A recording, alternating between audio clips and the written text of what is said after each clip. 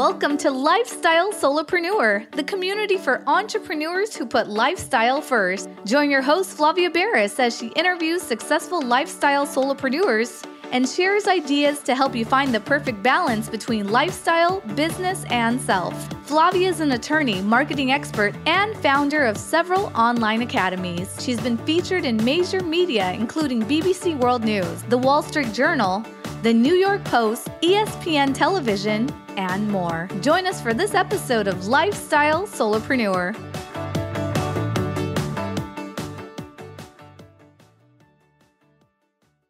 Hey, lifestyle solopreneurs. Today we get to speak with Monica Allen.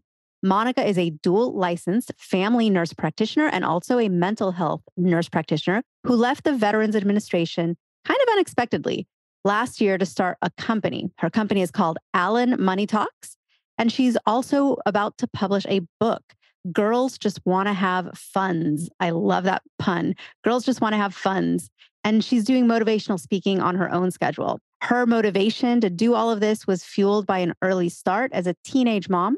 Her father died quite young. Uh, he was only 44 of a heart attack, and she was divorced by age 22. So she really has a lot of life experience. She gives hope to women who are on the front lines of their household finances with a four step plan to change all of their family's legacies, which is so important. After COVID, this crazy pandemic, a lot of people have had to quit their jobs, uh, take care of school age children. There was inflation that hit us recently that's at an all time high. We really do need someone like Monica to give everybody direction and hope.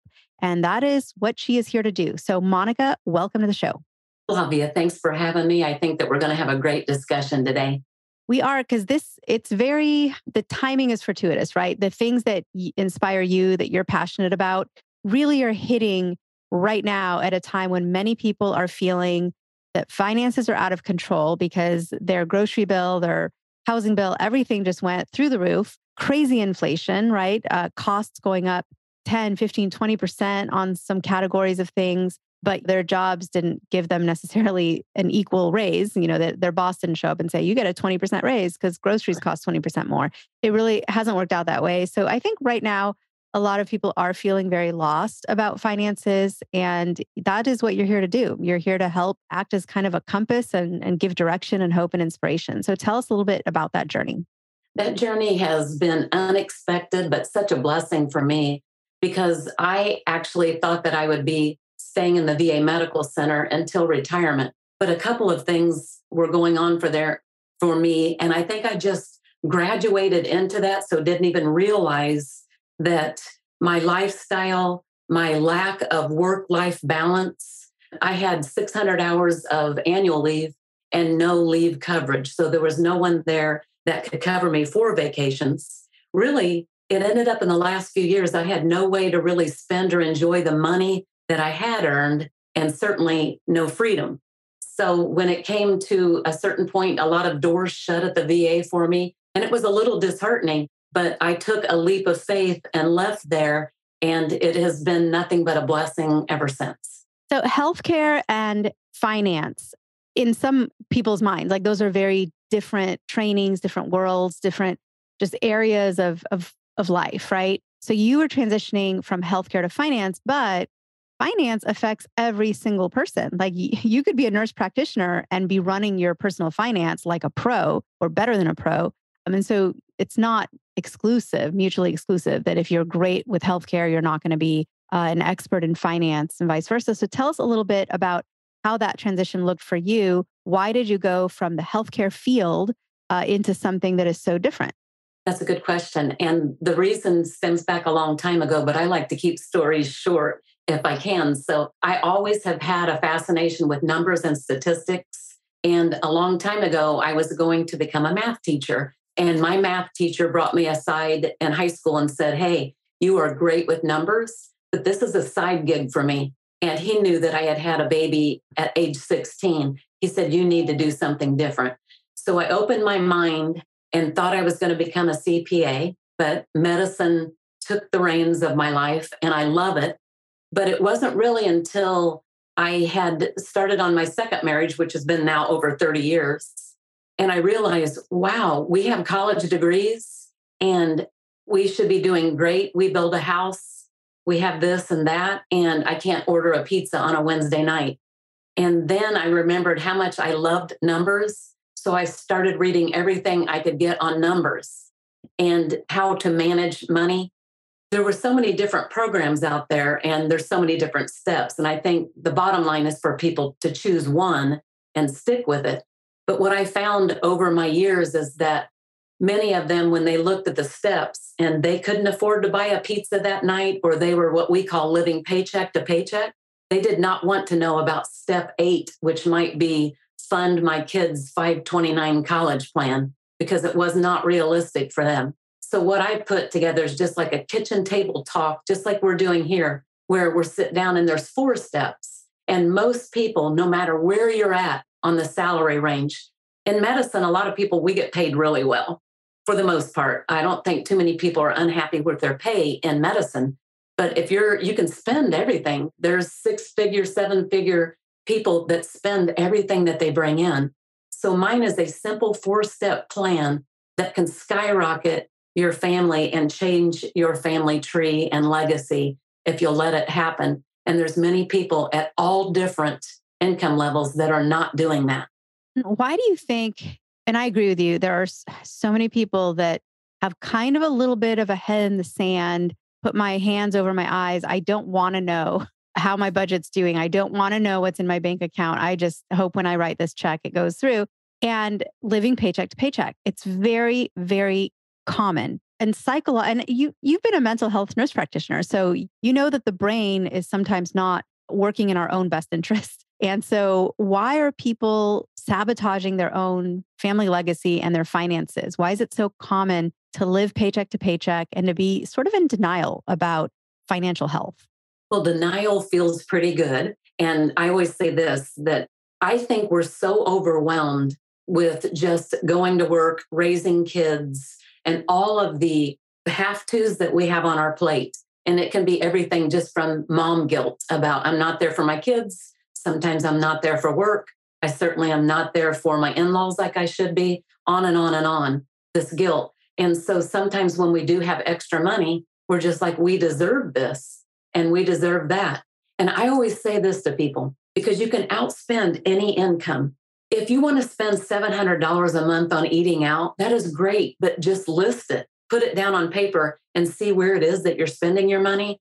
And then when you look at every place that you're spending your money, if you see I'm spending $700 a month on some great meals and I really enjoy it, but I'm putting 200 a month in my retirement, mindset wise, we might change. And I think you don't do it until you put it down and see where, where the money's going. I think you've nailed it. There's a lot of, a lot of, it's not even, it goes beyond denial. It's, it's just kind of a blindness to where the money's actually going. And there's so many great apps out there that help you track your finances with bookkeeping, uh, kind of consolidate some of your credit card statements or bank accounts into one screen that you can look at. There's a few out there, it's not just one or two. And so the tools are available, right? The tools are there to really monitor where is your money going every month so you can strategize a little bit better. So when people come to you for coaching, what are some of just those first few wins that you can help people with? Because I'm sure there's a lot of things they can do. Obviously, some of it's going to take a little bit of time to implement, but you probably see a lot of people come through your coaching where there's a couple of kind of low hanging fruit type things that they can do right away that will really make a difference. There are big things that they can do right away. And the biggest of the four steps is to get out of debt.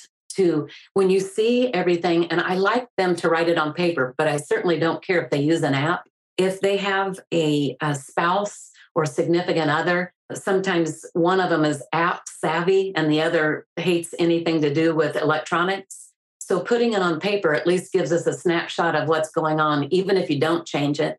But if you free up money by getting rid of some debts, then you can choose what that extra money goes to. And it should go, part of that should go to important areas like your retirement, because you are going, trust me, you don't know really for sure when your retirement's going to come and we none of us want to lower our lifestyle in retirement and the biggest thing about saving is because you may be in a job that's draining your health and taking everything. I work with physicians. They are just there to buy all these really nice things. And trust me, many of them are not enjoying any of the things that they're buying. They're just working, working, working to pay the payments and to get kids through college and that sort of stuff. And then they end up just dying of a heart attack because they've had this stress on, I call it this invisible noose around your neck. You know, you're making good money and it's coming in. And, but you also know that it goes out and it's, it's buying things, maybe things that you can't even enjoy. And stress really is a health emergency because I have seen, like a friend of mine had to go through a divorce, which is super unfortunate and very stressful. And that stress from a divorce, which is really a legal proceeding and an emotional sort of event in your life, led to some odd, like back pain, stomach pain, weird sprains, weird uh, allergic reactions, you know, things like all these health effects that all seem to occur right around the time when life was very stressful. And then when the the divorce was sort of finalized and, and things were a little bit less in the front burner, all those health problems just kind of magically melted away. It was like this very strange connection between stress and general health. Uh, again, I'm not a medical practitioner any sense of the word. So take this with a grain of salt. It was just an anecdotal story of someone that is close to me. But it always made me think, you know, how much do we not know about the connection between mindset and your general health and well being? And maybe even doctors don't quite know how all the, right. the levers and cogs in that machine are connected and work. So, and yeah, finances equals stress for a lot of people, for sure. That's definite. And you hit it right on the nail on the head because I worked in cardiology for 10 years. 50% of the people that have a heart attack will die right away. A lot of times they'll say or assume it was 100% blockage of the widowmaker, which is the LAD artery, which is beside the point. There's tons of people that have heart attacks without what we would consider enough blockage, but they have spasms. We hear about people that are out shoveling snow and they might be in their 30s. They're breathing in the cold air. They might have stress. They have spasms. Maybe they ate a big meal before they went out and did it. So the link can't be overlooked. And sometimes when you're under that stress, and you might not even know it, but you're under the stress and something happens to you physically, even when your stress goes away, that leaves a mark that you can't get rid of. So we have to face the fact that working on your family's finances, your household's finance, it could just be you. You don't, you don't have a family or you don't have a household, it's just you. But working on those finances could indirectly, and again, this is sort of a hypothesis, but could indirectly also affect your general health in many ways, which is just another area of life where you really want to, have as much health as possible because without your health, it's harder to enjoy life. So that's why I love what you're doing because your mission, even though we, we talked about how healthcare and finance seem like kind of different fields, there could be a lot of connection there. Like with the, what you're doing by helping people learn how to manage their finances better, you might actually be keeping them healthier too. That's exactly right. And that's my hope because the stress, stress breaks up marriages. Stress does a lot of things and you don't even maybe realize what it's doing. But we have to take that into account and realize that there is a better life. And it might, we always say, how much money do I need to retire? So many people worry about that. But I, I tell you this I've seen people that had 2 million in the bank and no health and they would gladly give the 2 million up because they don't have their health and they can't enjoy the 2 million. So your book, Girls Just Want to Have Funds, tell us about it. What was the catalyst and inspiration for writing the book? What is the book about? Who does it serve so that people who are interested in learning more about what you're doing and you're teaching can pick up a copy? And it's going to be released soon. It might be released when this this podcast is actually released, but you can visit my site at authormonicaallen.com and it's going to be available on Amazon. You've already said the book is called Girls Just Want to Have Funds and the dollar sign for the S on the end. The inspiration was that if one Wednesday night I couldn't afford the pizza and I decided that's it, enough is enough. I'm going to not dip into my measly savings account to get a pizza. So we cooked frozen pizza for our family that night.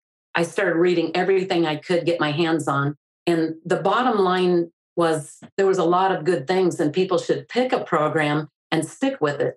But what I found was many people got overwhelmed when there were 10 or 13 steps because they were looking ahead. Step eight might be fund, fund my kids' 529 college plan. And I couldn't afford a pizza last night. So, what I've done is I'm jump starting with four steps that anybody, and I say girls just want to have funds because I have this heart for mothers that are running the households by themselves, which it's it's a large amount, especially after COVID and with our divorce rate being so high. But young men, older men, anybody that wants to get their finances in control can use these four steps to really get their finances of the household in control so then they can decide what they're going to do. The noose will around the neck will loosen and they can go and have a better life. Much of what I talk about in the book though is not just money, it's on our thoughts about money and also how mom's attitude, whether she's controlling the finances in the house or not, plays a big portion on the whole attitude of the family. For example, if mom says this year we're going to Disney, or mom decides that we're just going to take a camping trip close by or a water park close by and save money that year, her attitude about that will affect the kids and the whole family and the peace or the non peace of the family. So the female usually that old saying if mama ain't happy ain't nobody happy well the female controls the pulse of the household and so hopefully by having a good attitude about it the whole family benefits and learns along the way and it's a great example to teach your kids that you, you might have or teach yourself delayed gratification and the fact that we're educating that maybe on this soccer ball, we fix it instead of just throwing it in the trash because a flap broke off of it. And we're learning really to be a good steward of everything we have, not just our money, but the money is such an important part of life because you need it like you need oxygen. And what a foundation to establish for the kids, right? right. That just all of these things will will direct how the kids grow up and see finance and see money. And it's what you're doing is just kind of a chain reaction, and you're kicking off that first domino for a lot of people that will lead to great things. For everything that you're doing, I'm so grateful because you're putting a lot of just great things into the world. Tell us how people can follow up to connect with you. So if they say, I need more Monica in my life, I need, I need to know what the other three steps are. I, I need to get on this. I need to get with this program how do people find you? How do they connect? They find me by my website, authormonicaallen.com. They can find me on Facebook under the same name, author Monica Allen, and on Instagram. Monica, it's been great yeah. chatting with you. You are great. an amazing resource for so many. And thank you for all that you do. Thank you so much for having me. Guess what, lifestyle solopreneurs? If you don't yet have an online business earning you enough passive income to live the life of your dreams, I'd like to suggest you consider trying out Kajabi. Kajabi is an all in one solution where you can create and teach online courses, publish a paid newsletter, launch a free or paid podcast, process payments, build one on one coaching portals for your clients, and much, much more.